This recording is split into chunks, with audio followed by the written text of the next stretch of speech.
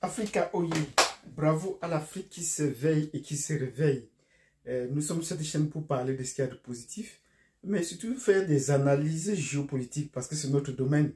Nous avons du carburant pour tenir sur le long terme et nous avons également des arguments assez pertinents pour faire des analyses fines et des décryptages assez poussés sur des situations géopolitiques globales ou singulières à l'Afrique ou à des pays africains, sauf le Cameroun. Et je vais vous expliquer pourquoi dans cette vidéo. Ma précédente vidéo, j'ai parlé du Sénégal. Et j'ai dit au Sénégal la situation actuelle des, hommes politiques en vue. Macky Sall et Sonko, c'est comme blanc bonnet et bonnet blanc. Je vais vous reprendre et je vais vous partager les commentaires que mes abonnés ont pu prendre la peine de mettre.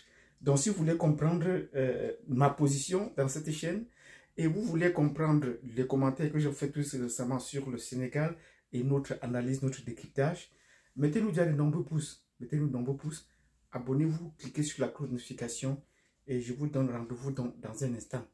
Le temps de vous permettre donc de faire ce que nous avons dit, c'est-à-dire de mettre des pouces, de vous abonner pour ceux qui ne sont pas abonnés et surtout de partager ces vidéos pour essayer d'éclairer les autres et de les inviter à s'intégrer cette chaîne. Sur ce, nous commençons.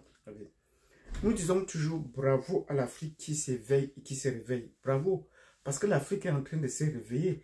Des situations comme ce qui se passe au Sénégal et partout ailleurs en Afrique euh, seraient passées inaperçues. On n'aurait pas eu la voix pour essayer de partager. Mais beaucoup d'analystes politiques se penchant sur le cas du Sénégal le montrent très bien que euh, la situation au Sénégal, il n'y aura pas un grand changement on agite la scène politique au Sénégal, mais on va prendre les mêmes et reconstruire avec les mêmes philosophies. C'est ce que la France a eu l'habitude de faire. Et pour bien comprendre la situation au Sénégal, il faut remonter dans l'histoire de sa création. Et j'appelle donc les Sénégalais qui m'ont dit que je suis Camerounais, que je ne parle pas du Cameroun, et que nous ne parlons pas du Cameroun. C'est vrai. Quand vous êtes, quand vous voulez faire une géopolitique objective, si vous parlez de votre pays, ça veut dire que vous êtes déjà partie prenante. Si je parle du Cameroun, je suis partie prenante du conflit. Je ne peux faire qu'une analyse subjective parce qu'au Cameroun, j'appartiens à une tribu. J'ai une approche qui est tout à fait différente de celle des autres. Donc, je ne peux pas faire une analyse euh, objective. Mais si je prends le cas du Sénégal dont nous parlons actuellement, euh, vu ma position académique, vu mon parcours, vu mon expérience, je peux parler du Sénégal de façon détachée parce que je ne suis pas sénégalais. Je vis très loin du Sénégal, mais j'ai étudié euh, assez, de façon assez poussée dans mon domaine, l'histoire et la géographie du Sénégal. J'ai étudié cela de façon un peu approfondie. Donc, je peux faire une analyse assez objective sans pouvoir mettre mes propres sentiments. Je ne suis pas Casamance, je ne suis pas Dioula, je ne suis pas euh, Peul, ainsi de suite. Donc, euh, je peux bien comprendre la situation du Sénégal. C'est ça qu'on appelle la géopolitique, c'est-à-dire être à mesure de faire une analyse positive, négative et voir les perspectives, euh, tant positives, les atouts et les points négatifs donc, nous ne sommes pas toujours là pour dire ce qu'il y a nécessairement de bien, mais nous disons aussi des handicaps qui pouvaient permettre, qu'on peut essayer d'analyser, de surmonter pour pouvoir faire une situation, pour pouvoir éclairer l'opinion des uns et des autres.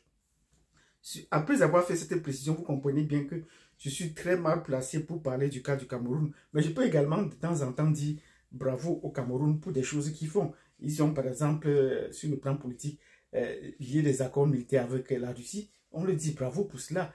Et, nous, nous disons toujours, par exemple, nous comparons la Côte d'Ivoire, les Ivoiriens qui veulent se comparer aux Camerounais, tant sur le plan individuel que sur le plan, euh, que sur le plan collectif, euh, ils ne nous en valent pas. Le capitaine de l'équipe de France, c'est un Camerounais. il n'y a pas, il pas de débat là-dessus. Donc, euh, depuis qu'ils ont eu Drogba, ils, ils sont dans un passage à vide. Après, on en a plus. On en a plus encore. Ils sont non seulement nombreux, mais il y en a plus encore. Ça, c'était une parenthèse. En passant, nous parlons de cela la prochaine fois. Donc, revenant pour le cas du Sénégal, Macky Sall ou Sonko, c'est bonnet blanc, blanc, bonnet. Nous avons aussi, j'aime bien Sonko. Il est jeune. Il vient de la Casamance, une région qui n'a pas participé au pouvoir. Et il a une, peut-être, il avait au départ une vision qui était assez bonne pour sa région. Tant que ça restait dans les perspectives du Sénégal, au niveau national, c'était très encourageant. Parce que là, il permettait de franchir certaines marges qui avaient de casser certains cloisons qui avaient tracé au niveau national. Vous ne me direz pas le contraire. Il est jeune et il va dans la lignée également des autres présidents qu'on a actuellement en Afrique, comme au Mali, comme au Burkina Faso. Donc ça pourrait être euh, euh, une très belle alternative. Mais malheureusement, ces idées sont en train d'être polluées. Ces idées sont en train de retourner vers la France-Afrique. C'est un produit de la France-Afrique, nous comprenons. Mais il n'a pas pu jusque-là se détacher complètement de la France-Afrique et avoir une attitude qui, qui, qui montre qu'il peut progresser, qui peut mettre le, Sénégal dans une attitude progressive. Et même peut-être l'Afrique. L'Afrique lui a apporté son dévolu. Mais il a des signes qui ne trompent pas. Et là, je vais attirer l'attention des uns et des autres sur la base de notre expérience. Il y a des signes qui ne trompent pas. Quand il a participé au sommet du franc CFA au Togo, ça c'était un très mauvais signe. Alors, il ne peut pas demander, précédemment, avant cela, il demandait déjà euh, qu'il fallait que la France les laisse tranquilles, qu'il fallait qu'on ait notre monnaie, ainsi de suite. Et tout le monde a applaudi. Mais quand il a participé au sommet, il a donné son notion. Ça, c'était ce qu'il ne fallait pas faire. Voilà. Ça, c'était ce qu'il ne fallait pas faire. Donc, maintenant, vous voyez, quand il intervient, son discours est un peu biaisé et les gens n'en parlent pas beaucoup. Il n'est pas contre la France. Comment est-ce qu'il pense qu'il peut euh, participer à l'émancipation du Sénégal et à, la souveraineté, développer la souveraineté du Sénégal s'il ne s'oppose pas à la France? C'est le chemin par lequel on doit passer en géopolitique. C'est-à-dire qu'il faut, entre, entre guillemets, commettre un parricide. Il faut vous couper et vous détacher carrément de votre parrain pour pouvoir, de votre père, pour pouvoir essayer de s'émanciper davantage. Donc, il n'est pas en train d'amener les Sénégalais dans un bon sens. Donc, nous disons, euh, nous le soutenons, mais malheureusement, ces idées ne corroborent pas. Ça ne va pas changer ce qui a lieu, ce que Macky Sall est en train de faire. Donc, surtout la France-Afrique. La France a déjà pu l'englober, même de façon mystique. Il ne pourrait pas faire autrement. Nous avons une alternative au Cameroun, que nous avons également les, anglophones. Donc, on a au moins une alternative là de ce côté. Mais dans la France, là, dans la France-Afrique, euh, très peu de pays ont cette alternative, à, moins que vous ayez un background militaire comme ont les euh, militaires, comme ont les, jeunes présidents dans le Sahel actuellement au Burkina et au Mali. Si vous n'avez pas cette démarche-là, tant que vous avez été fréquent, quand vous avez étudié dans la France, avez resté là-bas, euh, ce serait très difficile. Donc, il y a ces signes-là qui ne trompent pas.